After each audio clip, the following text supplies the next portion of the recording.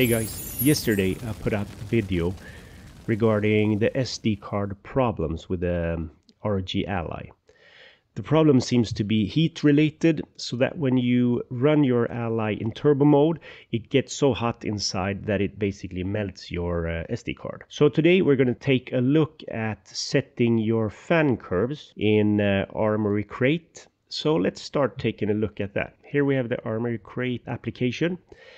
First we go to settings, then we go to operating mode.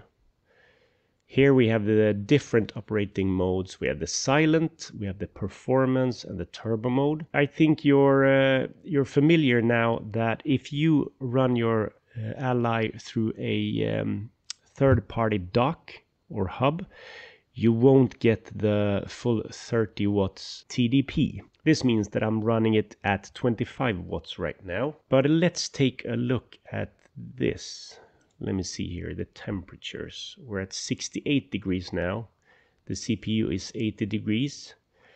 This means that the memory card, the SD card, is living kinda dangerous here in this one. Of course, it depends if you have an operating temperature that's rated higher, but I mean, we're buying cheap memory cards. We don't buy the, you know, military graded cards. So, I mean, that's not good for the cards to have 80 degrees inside the case. So let's take a look at this. Let's go to manual.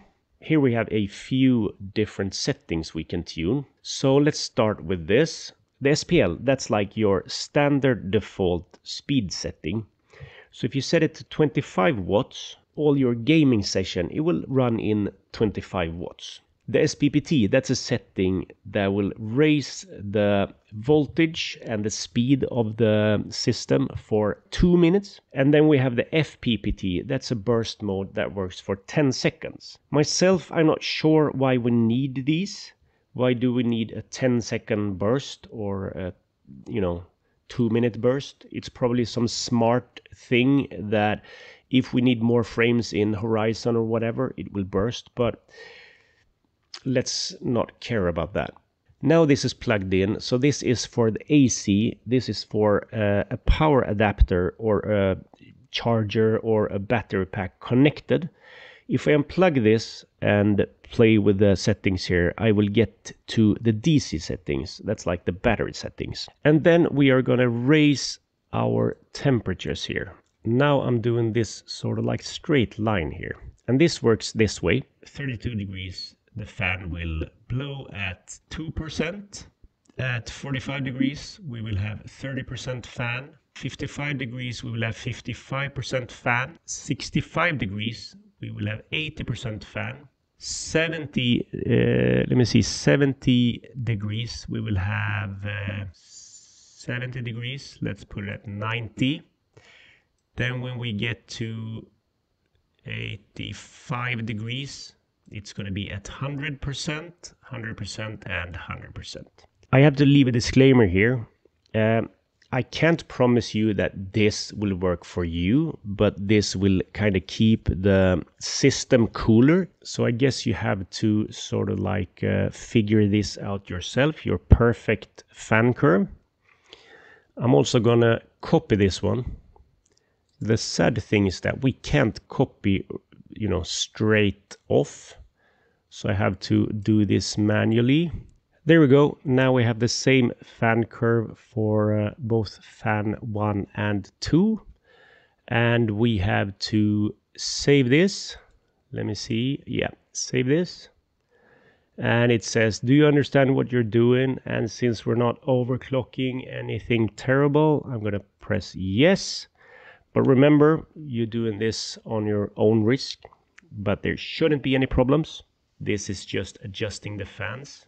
And as you can hear now, the fans are starting to go ballistic. We see the temperature here lowering. We had 80 degrees a second ago, and now it's lowering. So now we're getting close to 70 degrees because the fans are going at 7,700 RPMs. And as you can hear, it's a bit louder. That's a much louder system. And this can also be tuned if you feel that this is absolutely terrible, go down here and look at, if we look at the system stats, we see 70 degrees. So if we look at 70 degrees, our fans should be going at 80% between 80 and 90%. So 85% is the fan speed there. Try this, try this out and see what kind of results you get. You can look at the temperature here. The GPU is cooler now, where uh, the CPU is around 70 degrees. So this should definitely keep your system cooler and it's definitely cooler. If I touch it here on the case, it's absolutely cooler. So yeah, that's my tip for today. Check out the fan curves, it's not as difficult as it looks. And if you have any questions, please post them below.